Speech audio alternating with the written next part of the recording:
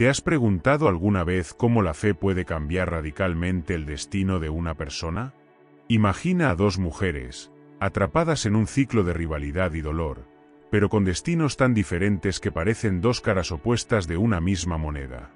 Una de ellas, a pesar de estar en su punto más bajo, decide apostar todo por la fe. La otra, consumida por la envidia, elige un camino que la lleva a la soledad. Esta es la historia de Ana y Penina, un relato que no solo te conmoverá, sino que te hará replantearte cómo enfrentas tus propios desafíos. Quédate, porque lo que descubrirás aquí podría transformar tu perspectiva de la vida. Si este tipo de contenido resuena contigo, suscríbete ahora y comparte este vídeo para que más personas puedan descubrir las poderosas lecciones que nos ofrece la Biblia. Vamos a sumergirnos en esta historia que no dejará indiferente a nadie. En los días en que los jueces gobernaban Israel, el pueblo atravesaba un tiempo de inestabilidad. El ciclo de obediencia y rebelión hacia Dios marcaba la historia de la nación. Durante este periodo, la vida estaba profundamente entrelazada con la fe y las tradiciones, y la identidad de una persona se forjaba en gran medida a través de su familia y su linaje. En aquella época, la descendencia era vista no solo como una bendición, sino como una necesidad imperativa para la supervivencia y prosperidad de la familia. La ausencia de hijos era percibida como una maldición, un estigma que podía llevar a la desesperación. El valor de una mujer, en particular, a menudo se medía por su capacidad de dar a luz, lo que generaba una intensa presión social y personal. Este contexto cultural y religioso ponía de manifiesto la importancia de la familia, donde la fe en Dios y la continuación del linaje se entrelazaban de manera indisoluble. El Caná, un hombre de Ramá, era un individuo devoto y recto, conocido por su fe inquebrantable en Dios.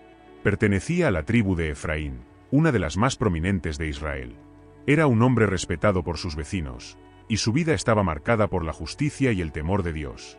Sin embargo, a pesar de su carácter íntegro, su hogar estaba lejos de ser un lugar de paz. El Caná tomó la decisión de tener dos esposas, Ana y Penina. Esta elección, aunque permitida en la cultura de la época, no estaba exenta de complicaciones. Ana, su primera esposa, era su gran amor, pero era estéril, lo que le causaba un profundo dolor. Con el deseo de tener hijos que continuaran su nombre, el Caná se casó con Penina, quien le dio varios hijos. A pesar de tener una familia numerosa, su corazón permanecía dividido entre su amor por Ana y su responsabilidad hacia Penina y sus hijos. El papel de El Caná como cabeza de familia era complejo. Aunque procuraba ser justo con ambas esposas, la preferencia que mostraba hacia Ana era evidente, y esto avivaba las tensiones en su hogar. Su vida diaria estaba marcada por el esfuerzo de mantener la armonía en medio de los celos y las rivalidades que surgían entre Ana y Penina. Esta dinámica familiar, con el Caná en el centro, prepararía el terreno para los eventos que cambiarían sus vidas para siempre. Ramá, la ciudad donde el Caná vivía con su familia, estaba situada en la región montañosa de Efraín. Era un lugar pequeño pero lleno de historia y significado. Las colinas que rodeaban la ciudad ofrecían una vista panorámica del paisaje, donde las casas de piedra se esparcían entre los olivos y viñedos. La vida en Ramá era simple y estaba centrada en la comunidad y la adoración a Dios. El templo en Silo, no muy lejos de Ramá, era el centro religioso de la nación. Allí, cada año, el Caná llevaba a su familia para ofrecer sacrificios y cumplir con sus obligaciones religiosas. Este acto de devoción no solo era una muestra de fe, sino también una oportunidad para que la familia reafirmara su unidad y dependencia de Dios. La vida cotidiana en Ramá seguía un ritmo tranquilo, marcado por las estaciones y las festividades religiosas. Las mujeres se encargaban de los quehaceres del hogar, mientras que los hombres trabajaban en los campos y pastoreaban el ganado. Las tradiciones se transmitían de generación en generación, y la comunidad estaba unida por lazos de parentesco y fe. Sin embargo, a pesar de la aparente paz de Ramá, la casa de Elcaná estaba plagada de conflictos internos. Las tensiones entre Ana y Penina crecían con cada día que pasaba, alimentadas por el dolor de Ana por su esterilidad y la amargura de Penina al ver el amor que el canal le tenía a Ana. Este ambiente cargado de emociones sería el escenario donde se desarrollaría una de las historias más conmovedoras de la Biblia. ¿Cómo crees que influirá este contexto en la relación entre Ana y Penina? Comparte tu opinión en los comentarios. Penina, cuyo nombre significa perla, provenía de una familia humilde de la tribu de Efraín. Sus padres, aunque devotos y respetados dentro de su comunidad, no gozaban de grandes riquezas ni de una posición social destacada. Penina creció en un ambiente donde las tradiciones y los valores religiosos eran el centro de la vida diaria.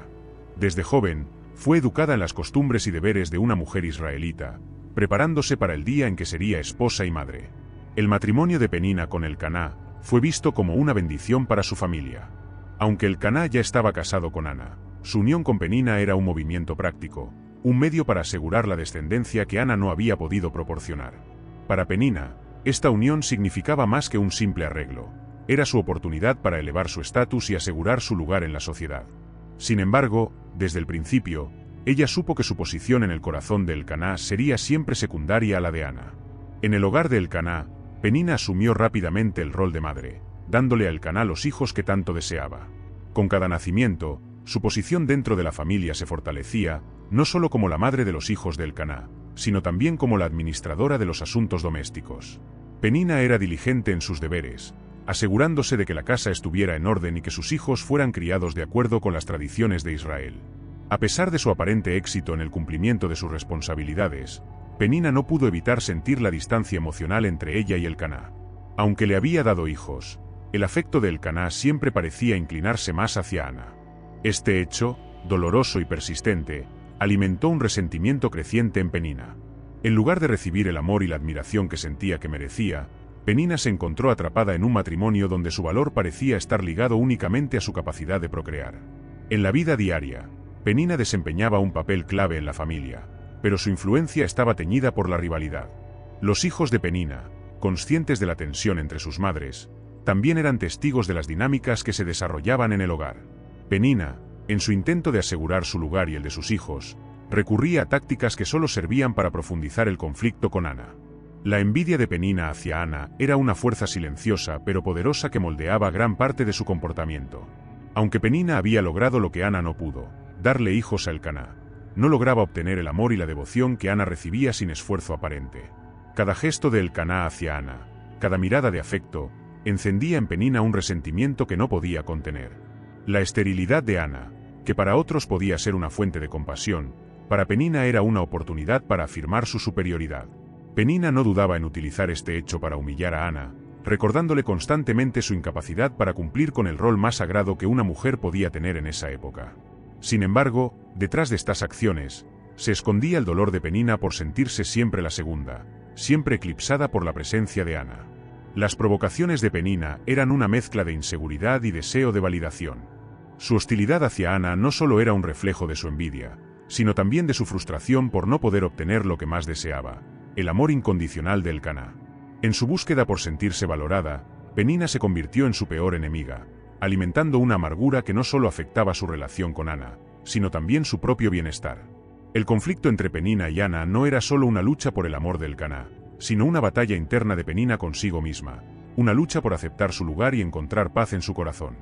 Ana, cuyo nombre significa gracia o favorecida, provenía de una familia respetada dentro de la tribu de Efraín. Desde su infancia, Ana fue reconocida por su carácter gentil y su corazón bondadoso. Su familia la crió en la fe y las tradiciones de Israel, inculcándole desde joven la importancia de la devoción a Dios y la obediencia a sus mandamientos.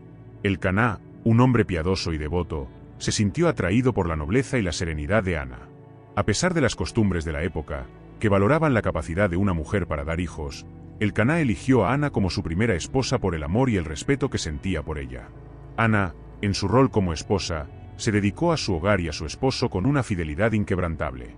Sin embargo, a pesar de todas sus virtudes, había un aspecto de su vida que le causaba un dolor profundo, su esterilidad. La esterilidad de Ana era una fuente constante de sufrimiento y vergüenza, tanto para ella como para el Caná. En una sociedad donde el valor de una mujer estaba estrechamente ligado a su capacidad de tener hijos, Ana se encontraba en una posición vulnerable. Cada año que pasaba sin que su vientre se llenara de vida, su dolor se intensificaba. Las miradas de compasión, y a veces de lástima, de las otras mujeres de su comunidad solo profundizaban su sensación de insuficiencia. El dolor de Ana no era solo físico, sino también espiritual y emocional. Se preguntaba por qué Dios, en su infinita sabiduría, no le concedía el deseo más profundo de su corazón. La esterilidad era vista como una señal de desaprobación divina, y aunque Ana sabía que era amada por el Caná, no podía evitar sentir que estaba fallando en su deber más sagrado. Cada nacimiento en la familia, cada nuevo hijo de Penina, era un recordatorio doloroso de lo que Ana no podía lograr. En silencio, Ana soportaba las burlas y provocaciones de Penina, quien no perdía oportunidad de recordarle su incapacidad para dar hijos. Este sufrimiento constante se convirtió en una carga tan pesada que, en ocasiones, Ana sentía que su alma estaba al borde del quebrantamiento. Sin embargo, en medio de su dolor, su fe en Dios permanecía firme. La devoción de Ana a Dios era inquebrantable, incluso en los momentos más oscuros de su vida. Su relación con Dios no estaba basada en las circunstancias externas, sino en una fe profunda y personal que había cultivado desde su juventud. Cada día, Ana elevaba sus oraciones a Dios, no solo por un hijo, sino por la paz y la fortaleza para soportar su dolor. Ana se destacaba por su humildad y sumisión a la voluntad divina. Aunque el dolor de su esterilidad era insoportable, ella nunca perdió la esperanza de que Dios escucharía sus súplicas. En lugar de amargarse, Ana buscó refugio en la oración. Su corazón se volcaba hacia Dios con una sinceridad y una intensidad que pocos podían comprender. En cada viaje a Ana aprovechaba la oportunidad para acercarse más a Dios. Allí, en la presencia del arca del pacto, Ana derramaba su corazón en oración. Un año, durante una de estas visitas, Ana hizo un voto solemne a Dios. Si él le concedía un hijo, ella lo dedicaría al servicio divino por todos los días de su vida. Esta promesa no era un acto desesperado, sino una manifestación de su fe y de su total entrega a la voluntad de Dios. La oración de Ana fue una de las más fervientes y sinceras registradas en las Escrituras. No buscaba solo la bendición de un hijo, sino también la oportunidad de honrar a Dios a través de su promesa. Esta devoción sería finalmente recompensada, pero en ese momento, Ana se entregó completamente a la misericordia de Dios, confiando en que le escucharía el clamor de su corazón. La tensión en la casa del Caná era palpable, y en el centro de esta tensión se encontraba la amarga rivalidad entre Ana y Penina. Penina, sabiendo que tenía lo que Ana más deseaba, no perdía oportunidad para atormentar a su coesposa. Las palabras de Penina eran afiladas como espadas, diseñadas para herir y recordarle a Ana su condición de esterilidad. Cada comentario, cada insinuación, estaba cargado de veneno, y Penina disfrutaba viendo cómo Ana luchaba por contener su dolor. Penina no solo atacaba a Ana en privado, sino que en ocasiones, sus burlas se extendían a momentos familiares y públicos, humillando a Ana delante de sus propios hijos y de los demás. Penina hacía alarde de su fertilidad, mencionando con frecuencia las bendiciones que Dios le había otorgado al darle tantos hijos. Para Penina, esto no solo era una afirmación de su posición en la familia, sino una manera de afirmar su propia valía, que ella sentía constantemente amenazada por el amor que el canal le tenía a Ana. Los ataques de Penina no se limitaban a las palabras. En las ocasiones festivas y durante los sacrificios en Silo, cuando la familia se reunía para adorar y celebrar, Penina se aseguraba de mostrar su desdén hacia Ana. Le hacía sentir su soledad en medio de la multitud, asegurándose de que Ana supiera que, a pesar de todo, estaba sola en su sufrimiento. El Caná, aunque era consciente de las tensiones en su hogar, se encontraba en una posición difícil. Amaba profundamente a Ana y sufría al ver el dolor que ella soportaba. Sin embargo, como jefe de familia, también tenía la responsabilidad de asegurar que su hogar se mantuviera en paz y que sus hijos fueran criados en un ambiente estable. En múltiples ocasiones, el Caná intentó consolar a Ana, recordándole su amor incondicional y asegurándole que, para él, ella valía más que diez hijos. El Caná no solo mostraba su amor a través de palabras, sino también mediante actos de ternura. Le daba a Ana porciones especiales durante las comidas festivas y la trataba con una deferencia que no mostraba hacia Penina, con la esperanza de que esto pudiera aliviar su dolor. Sin embargo, a pesar de sus mejores esfuerzos, el Caná no podía llenar el vacío que la falta de un hijo había dejado en el corazón de Ana. La devoción del Caná hacia Ana solo servía para aumentar la envidia de Penina, quien, a pesar de tener hijos, sentía que nunca podría competir con el amor que el Caná le tenía a Ana. Esta dinámica compleja solo servía para avivar aún más el conflicto entre las dos mujeres, dejando al Caná en una posición donde, a pesar de su amor y compasión, se sentía impotente para sanar las heridas profundas en su hogar. La constante rivalidad con Penina tuvo un profundo impacto emocional y espiritual en Ana. Cada burla, cada provocación, era una daga que penetraba en su corazón, debilitando su espíritu. A pesar de su fe y devoción a Dios, Ana no podía evitar sentir el peso de su dolor. La tristeza la envolvía, y en ocasiones, el desánimo amenazaba con consumirla por completo. Ana comenzó a retraerse, evitando las situaciones en las que sabía que sería expuesta a las burlas de Penina. La alegría de otros, especialmente de Penina y sus hijos, solo servía para recordarle lo que ella no tenía. La carga emocional se volvió tan grande que incluso las celebraciones anuales en Silo, que deberían haber sido momentos de gozo, se convirtieron en una fuente de angustia. La falta de un hijo la hacía sentir incompleta, y la constante hostilidad de Penina hacía que el dolor fuera aún más agudo. Sin embargo, en medio de este sufrimiento, Ana encontró refugio en la oración. En lugar de permitir que la amargura y la desesperación la consumieran, Ana dirigió su dolor hacia Dios. Cada lágrima derramada, cada oración susurrada, era un clamor desde lo más profundo de su ser. Ana sabía que solo Dios podía entender la magnitud de su dolor, y con una fe inquebrantable, continuó pidiendo el milagro que tanto anhelaba. Cada año, la familia del Caná emprendía un viaje que era esperado con ansias y reverencia. El viaje a Silo, el lugar donde todos los israelitas devotos se congregaban para ofrecer sacrificios al Señor.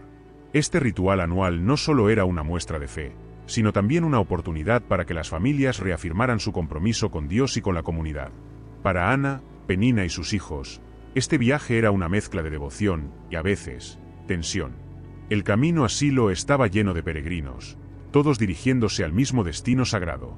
La atmósfera estaba cargada de espiritualidad, y el sonido de las oraciones y cánticos se mezclaba con el bullicio de la multitud.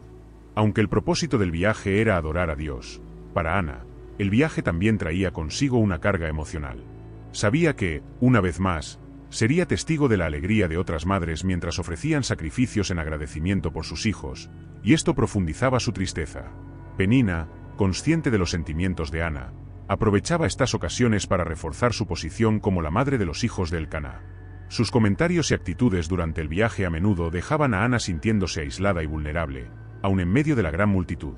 Sin embargo, Ana mantenía su silencio, enfocándose en sus oraciones y en su deseo de acercarse más a Dios durante esta peregrinación. Silo era más que un simple lugar de reunión, era el epicentro de la fe israelita en esa época. Situado en el corazón de la tierra de Efraín, Silo albergaba el arca del pacto, el símbolo más sagrado de la presencia de Dios entre su pueblo. Este era el lugar donde los israelitas venían a buscar el favor de Dios, a ofrecer sacrificios y a renovar sus votos de lealtad a Yahvé. El arca del pacto, que había sido colocada en Silo desde los días de Josué, representaba la alianza entre Dios e Israel. Para los fieles, estar en Silo era estar en la presencia directa de Dios. Aquí se ofrecían holocaustos, se celebraban festivales, y se tomaban decisiones cruciales para la nación. La importancia de Silo no solo radicaba en su función como centro de culto, sino también en su rol como símbolo de la unidad del pueblo de Israel bajo el liderazgo divino. Para Ana, Silo era el lugar donde su fe y sus súplicas se volvían más intensas. Sabía que, si había algún lugar donde su oración sería escuchada, sería en Silo, ante el arca del pacto, donde la misericordia de Dios se manifestaba de manera poderosa. Al llegar a Silo, el Caná cumplía con su deber como jefe de familia ofreciendo los sacrificios prescritos. Este acto era tanto una obligación religiosa como una expresión de gratitud a Dios por las bendiciones recibidas durante el año. Después de realizar el sacrificio, el Caná tenía la responsabilidad de dividir las porciones del sacrificio entre sus esposas e hijos.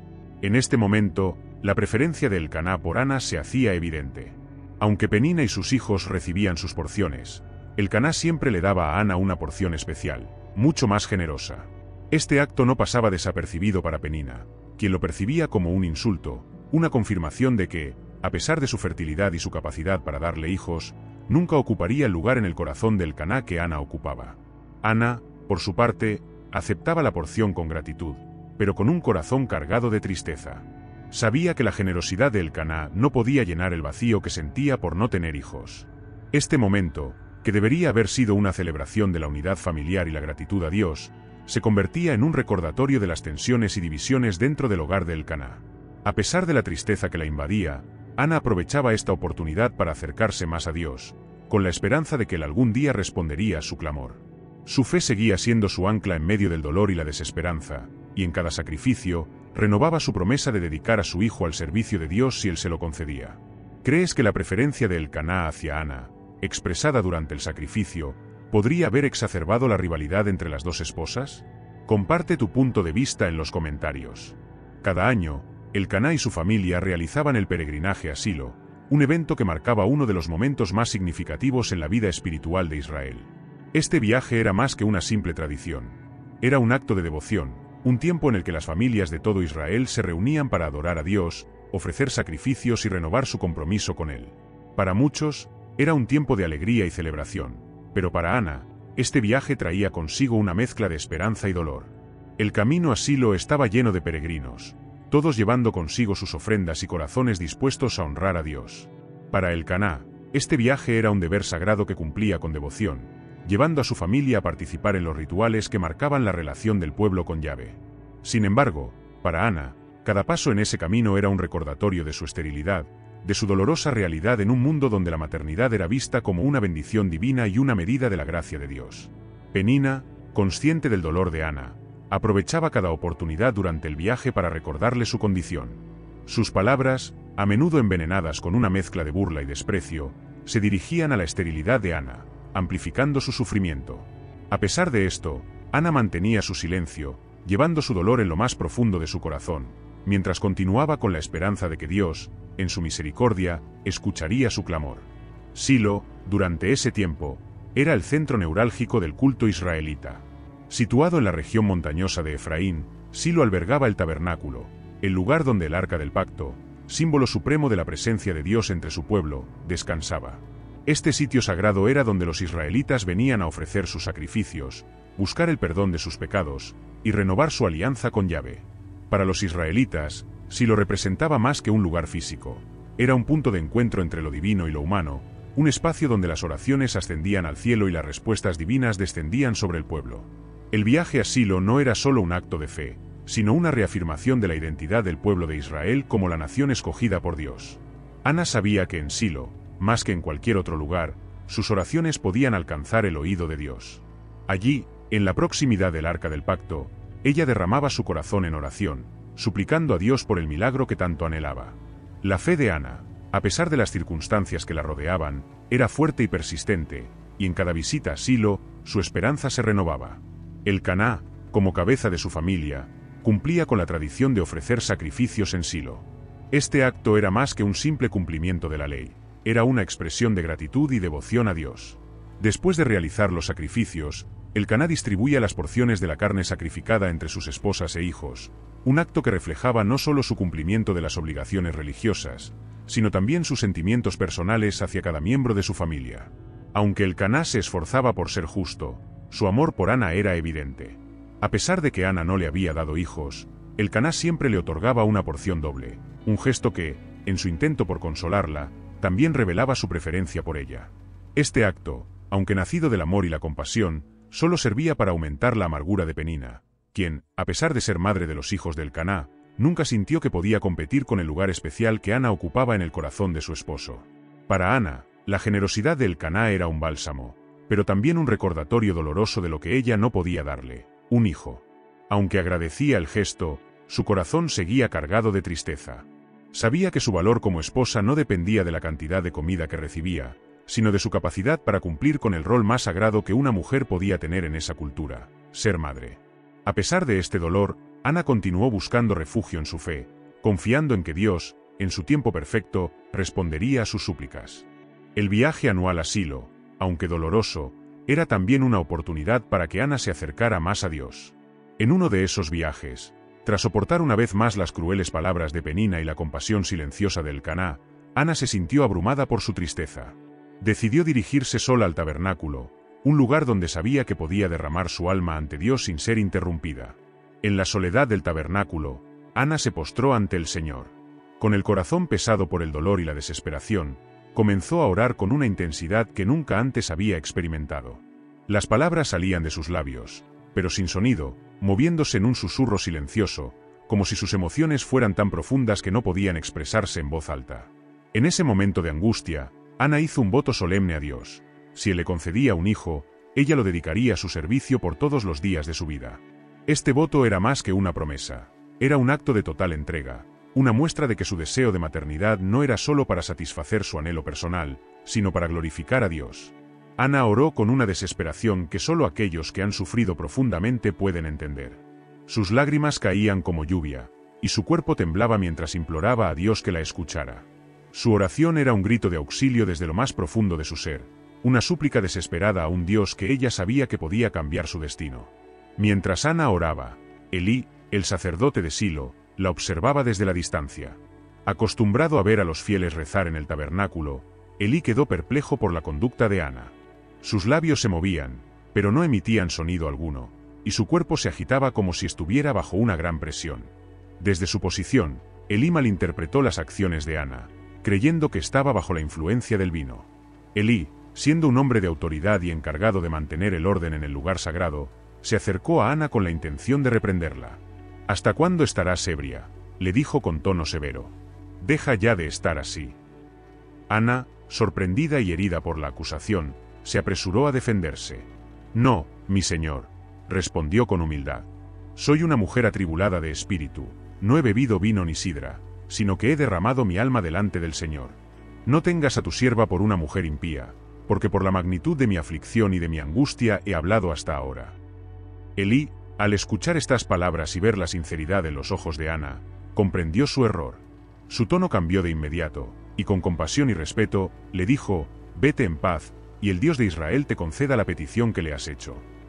Estas palabras, pronunciadas por el sacerdote, fueron como un bálsamo para el alma de Ana. Aunque no sabía si Dios le concedería lo que pedía, la bendición de Elí le ofreció una nueva esperanza.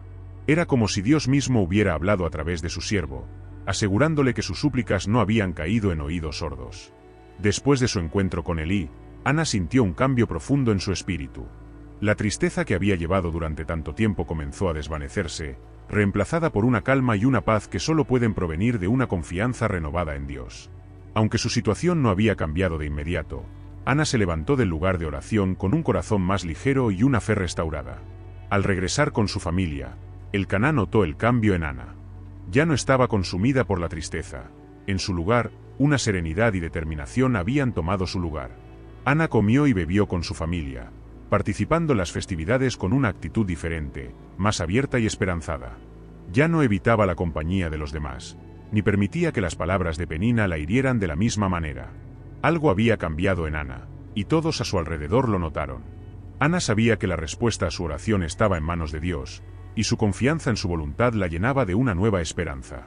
Había hecho su parte al derramar su corazón ante el Señor, y ahora, con fe renovada, estaba dispuesta a esperar su respuesta, sea cual fuere. El tiempo pasó desde aquel viaje a Silo, y Dios, en su infinita misericordia, escuchó las súplicas de Ana. Al poco tiempo, Ana sintió los primeros signos de embarazo.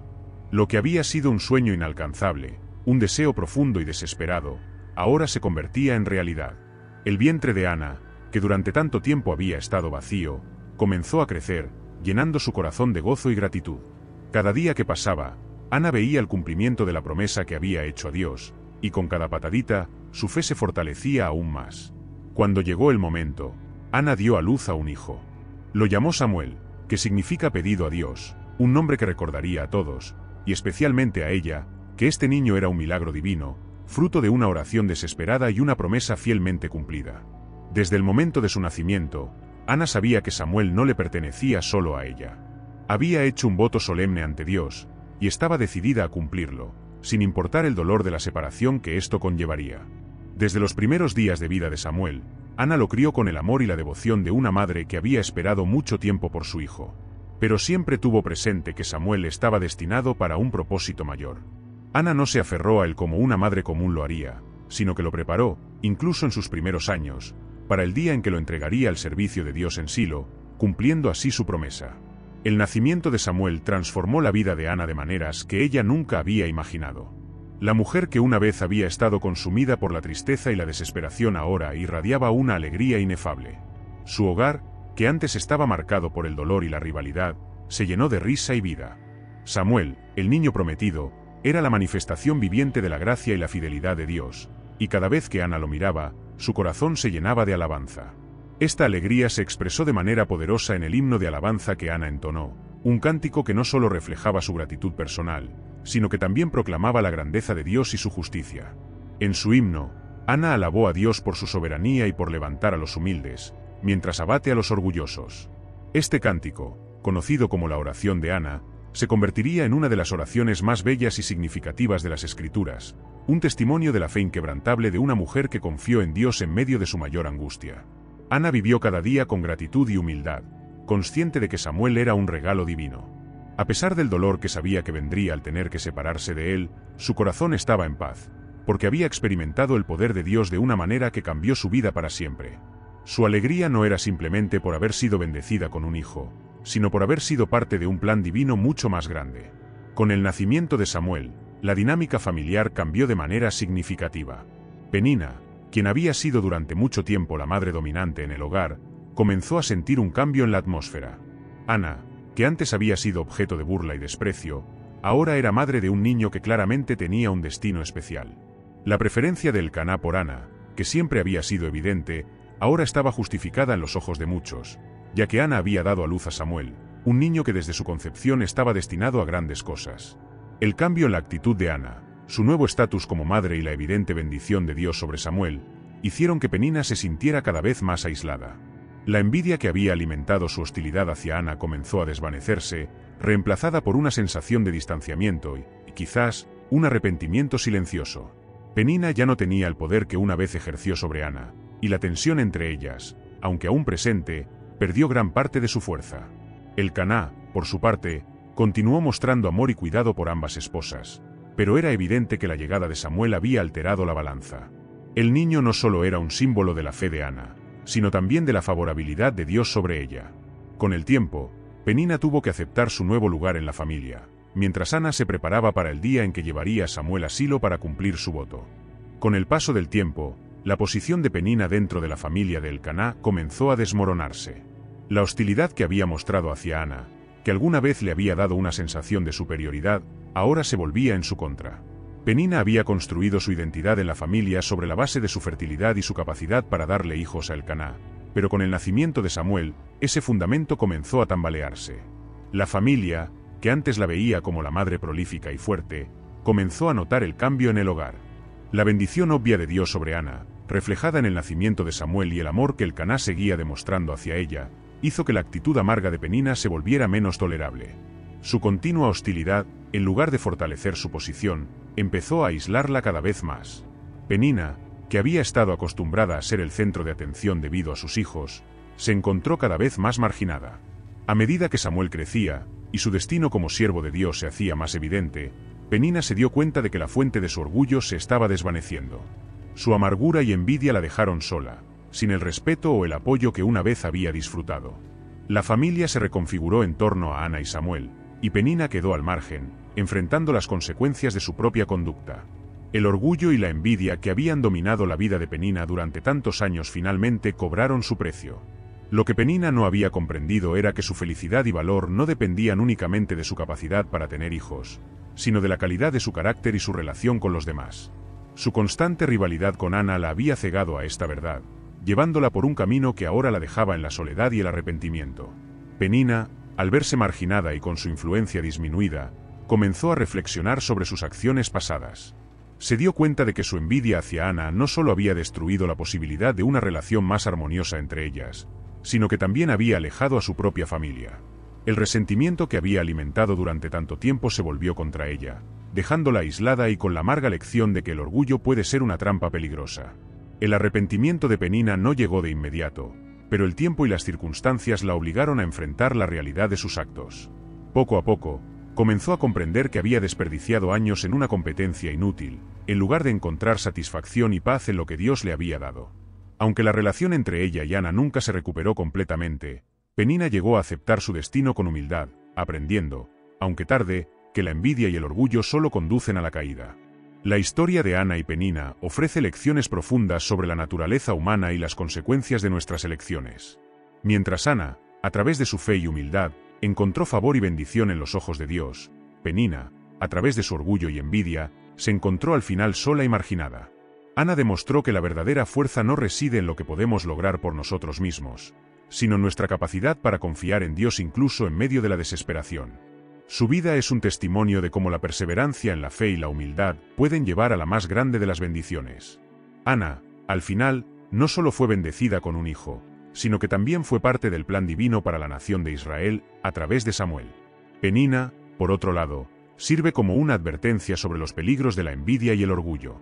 Su historia muestra cómo estas emociones pueden distorsionar nuestras relaciones, y eventualmente, llevarnos a un lugar de soledad y arrepentimiento. Penina tuvo la oportunidad de ser una madre y esposa contenta, pero eligió el camino del resentimiento, que al final solo le trajo dolor. En última instancia, La vida de estas dos mujeres nos recuerda que nuestras acciones y actitudes tienen consecuencias, no solo para nosotros, sino para quienes nos rodean. Ana y Penina tomaron caminos diferentes, y sus destinos reflejan las decisiones que tomaron a lo largo de sus vidas. A través de sus historias, somos llamados a reflexionar sobre nuestras propias elecciones y a buscar la paz y la satisfacción en la fe y la humildad, en lugar de en la competencia y el orgullo. El hijo de Ana, Samuel, no solo fue una respuesta directa a sus fervientes oraciones, sino que también se convirtió en una figura clave en la historia de Israel. Desde su juventud, Samuel fue consagrado al servicio de Dios en el tabernáculo en Silo, cumpliendo el voto que Ana había hecho antes de su nacimiento. Bajo la tutela del sacerdote Elí, Samuel creció en sabiduría y gracia, siendo conocido por su pureza de corazón y su dedicación a Dios. Samuel se convirtió en el último de los jueces de Israel y en el primero de los profetas, desempeñando un papel crucial en la transición de Israel de una confederación de tribus a una monarquía unificada. Fue Samuel quien ungió a Saúl como el primer rey de Israel, y más tarde, tras la caída de Saúl, ungió a David, el rey más famoso de Israel, cuya línea daría lugar a la llegada del Mesías. La influencia de Samuel en Israel fue inmensa. Su liderazgo espiritual y político guió al pueblo en tiempos de crisis, y su fidelidad a Dios inspiró a generaciones futuras. Todo esto fue posible gracias a la fe inquebrantable de su madre, Ana, quien, a pesar de sus propias dificultades, nunca dejó de confiar en que Dios tenía un plan mayor para su hijo. El legado de Ana no solo reside en el impacto que Samuel tuvo en la historia de Israel, sino también en su ejemplo como madre y mujer de fe. Ana es un modelo de devoción y perseverancia, alguien que, en lugar de rendirse ante la adversidad, se acercó más a Dios, confiando en su poder y sabiduría. Su historia es una poderosa ilustración de cómo una vida de fe puede tener repercusiones mucho más allá de lo que podemos imaginar. Ana no solo fue la madre de Samuel, sino también una figura inspiradora para todas las mujeres de fe. Su vida demuestra que la oración ferviente y la confianza en Dios pueden transformar las circunstancias más difíciles. Ana es recordada no solo por haber dado a luz a un gran profeta, sino por su capacidad para entregar todo lo que tenía, incluso a su hijo, al servicio de Dios. Su himno de alabanza, entonado tras el nacimiento de Samuel, sigue siendo un testimonio poderoso de su fe y gratitud. Este cántico, lleno de alabanza y reconocimiento de la soberanía de Dios, ha resonado a lo largo de los siglos, inspirando a innumerables personas a confiar en Dios, independientemente de las circunstancias. La historia de Ana ha sido ampliamente interpretada y celebrada en la tradición judeocristiana. En la Biblia, su figura es destacada como un ejemplo de fe, humildad y entrega a Dios. Su himno, conocido como la oración de Ana, ha sido comparado con el Magnificat de María en el Nuevo Testamento, destacando su importancia en la tradición bíblica. A lo largo de los siglos, Ana ha sido vista como un modelo para todas las personas que enfrentan desafíos y pruebas. Su vida es un recordatorio de que, aunque nuestras circunstancias puedan parecer insuperables, la fe en Dios puede abrir el camino hacia la victoria y la bendición. Los rabinos y teólogos cristianos han reflexionado sobre su historia como un ejemplo de cómo Dios escucha y responde a las oraciones de los justos, y como incluso nuestras mayores dificultades, Él puede obrar grandes milagros. Ana también es celebrada como una madre ejemplar, cuya devoción y sacrificio hicieron posible que su hijo Samuel cumpliera el propósito divino para su vida. Su historia ha sido utilizada para enseñar la importancia de la oración, la confianza en Dios, y la disposición a entregar nuestras bendiciones de vuelta a Él en señal de gratitud. En el ámbito litúrgico, la historia de Ana se recuerda en diversas ocasiones, y su himno se ha incorporado en las oraciones y cánticos de muchas tradiciones cristianas. Ana es venerada como una santa por algunas denominaciones, y su vida sigue siendo una fuente de inspiración para los creyentes de todas las edades. La historia de Ana es un testimonio poderoso del impacto que la fe y la oración pueden tener en nuestras vidas. Desde el principio, Ana se enfrenta a una situación que parece insuperable, la esterilidad en una sociedad que valora enormemente la capacidad de una mujer para tener hijos. Sin embargo, en lugar de rendirse a la desesperación o dejarse consumir por la tristeza, Ana recurre a la única fuente de esperanza que conoce, su fe en Dios. A lo largo de su vida, Ana demuestra una fe inquebrantable, incluso cuando todo parece estar en su contra. Su decisión de acudir al tabernáculo en Silo y derramar su corazón ante Dios es un acto de profunda confianza en el poder de la oración. Ana no solo ora, sino que lo hace con una sinceridad y una intensidad que reflejan su total dependencia de Dios. Su fe no es pasiva, sino activa y viva, impulsándola a buscar el rostro de Dios con todo su ser. La respuesta a la oración de Ana, en la forma del nacimiento de Samuel, subraya la verdad de que Dios escucha y responde a las súplicas de sus hijos. Pero más allá de concederle un hijo, Dios transforma la vida de Ana, dándole un propósito mayor al permitir que su hijo se convierta en uno de los grandes profetas de Israel. La historia de Ana nos enseña que la fe y la oración no solo tienen el poder de cambiar nuestras circunstancias, sino que también pueden alinearnos con los planes divinos que son mucho más grandes de lo que podemos imaginar. La relación entre Ana y Penina ofrece lecciones importantes sobre la naturaleza destructiva de la envidia y la rivalidad. Penina, al sentir que su posición estaba amenazada por el afecto que el Caná mostraba hacia Ana, permitió que la envidia y el resentimiento se apoderaran de su corazón. En lugar de buscar la paz y la armonía, Penina eligió atacar a Ana, utilizando su dolor para reafirmar su propia superioridad. Esta rivalidad, alimentada por el orgullo y la inseguridad, no solo dañó a Ana, sino que también envenenó la vida de Penina, aislándola de los demás y dejándola sola en su amargura. A través de esta relación, la historia nos muestra que la envidia y el orgullo no conducen a la felicidad ni al éxito, sino que generan división, dolor y, en última instancia, soledad. En contraste, Ana, aunque sufrió profundamente a causa de las burlas de Penina, eligió un camino diferente. En lugar de devolver el mal por mal, Ana recurrió a Dios, buscando consuelo y fuerza en la oración. Su capacidad para mantener la fe y la compasión, incluso en medio de la hostilidad, es un ejemplo poderoso de cómo podemos elegir responder al conflicto con gracia y humildad.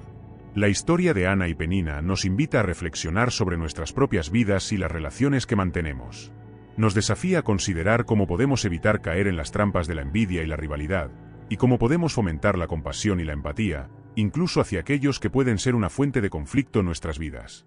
Aunque la historia de Ana y Penina ocurrió en un contexto cultural e histórico muy diferente al nuestro, las lecciones que ofrece son atemporales y profundamente relevantes para nuestra vida moderna.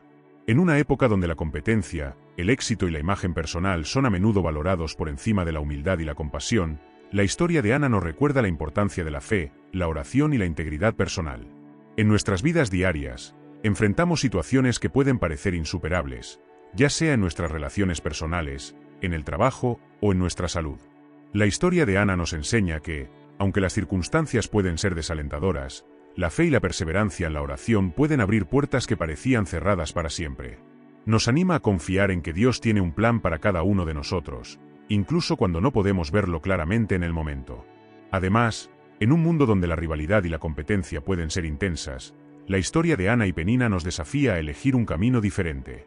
En lugar de permitir que la envidia y el resentimiento nos consuman, estamos llamados a buscar la paz y la reconciliación, a practicar la compasión y a confiar en que el bien que hacemos será recompensado, no solo en esta vida, sino también en la venidera.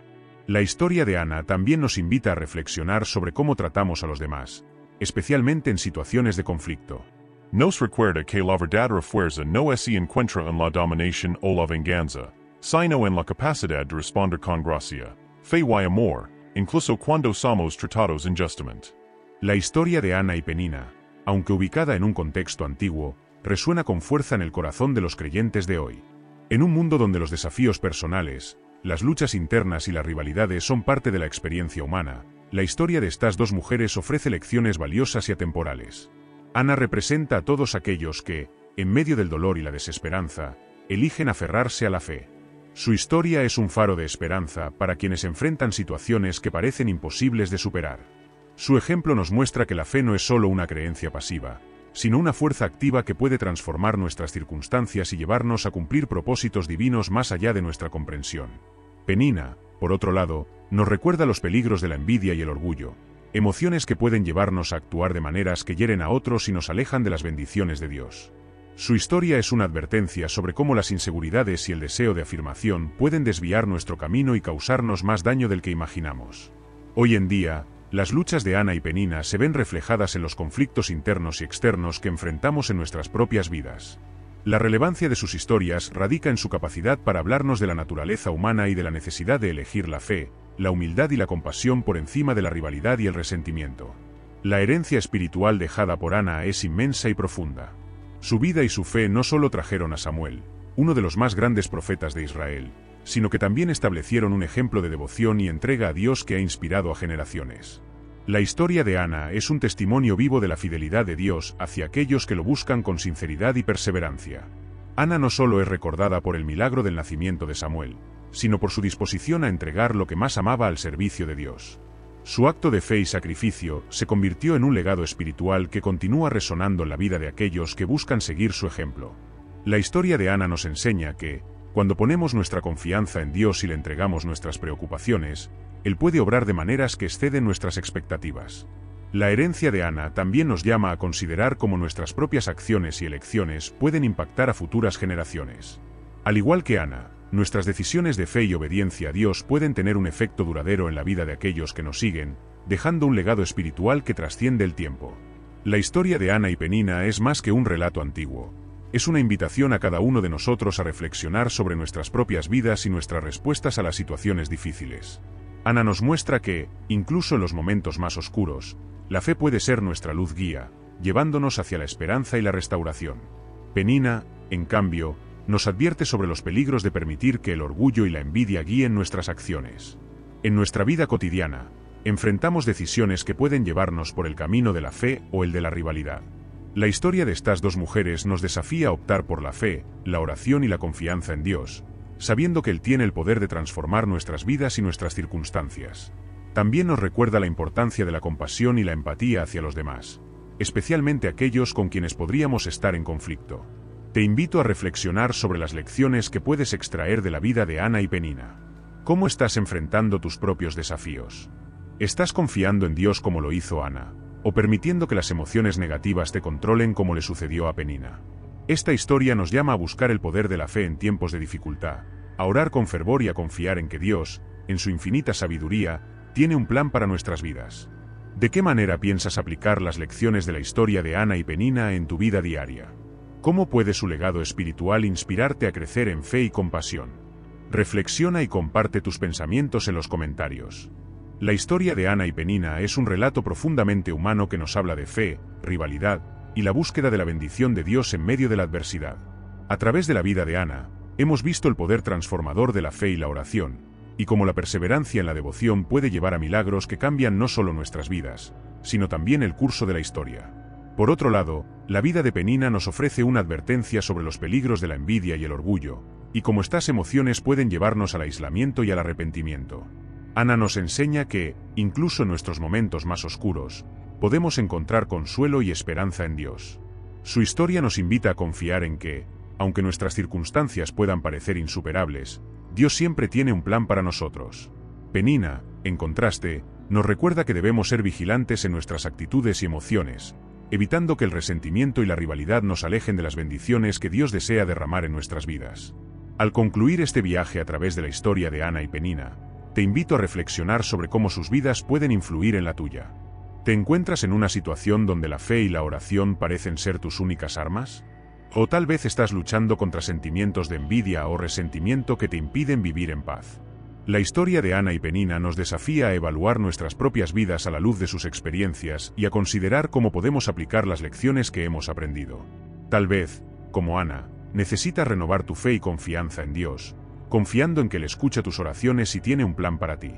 O quizás, como Penina, necesitas dejar de lado el orgullo y la envidia, buscando en cambio la reconciliación y la paz en tus relaciones. Sea cual sea tu situación, recuerda que Dios está presente, listo para guiarte y ayudarte a través de cualquier desafío que enfrentes. Espero que esta historia te haya inspirado y dado nuevas perspectivas sobre cómo enfrentar las dificultades de la vida con fe y humildad. Si te ha gustado este contenido y quieres seguir explorando las enseñanzas bíblicas a través de historias como esta, te invito a suscribirte al canal para no perderte ninguna actualización. También te animo a compartir esta historia con otros, para que más personas puedan beneficiarse de las lecciones que Ana y Penina nos dejan. Tu participación es clave para continuar creando contenido que edifique y fortalezca la fe de todos. Así que, ¿qué piensas de la historia de Ana y Penina? ¿Cómo puedes aplicar las lecciones de sus vidas a la tuya? Déjame tus comentarios, suscríbete y comparte este vídeo con aquellos que podrían necesitar una palabra de aliento hoy. Gracias por ser parte de esta comunidad, y nos vemos en el próximo contenido.